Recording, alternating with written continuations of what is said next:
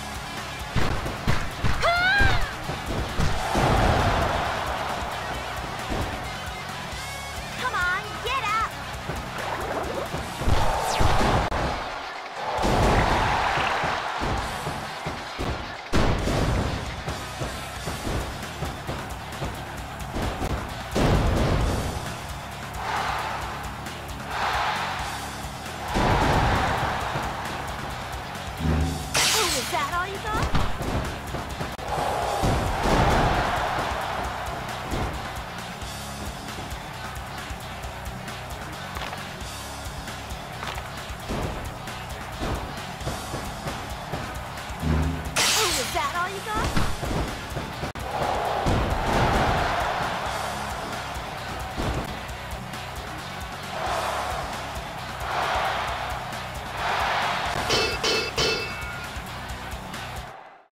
Ah, another great match.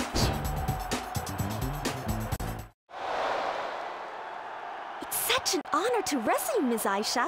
Let's make it a great one. Damn, you've changed. What's up with you? I don't want to discuss my past. I'm a brand new me. You sound like that teacher that tailed you here. Ew. And that uniform. Got costume fetish? As if. I'm sensitive about the uniform. like a new paint job on a whack car. Girl, you still whack under all that gear. Set me off. Now I'm gonna work ya.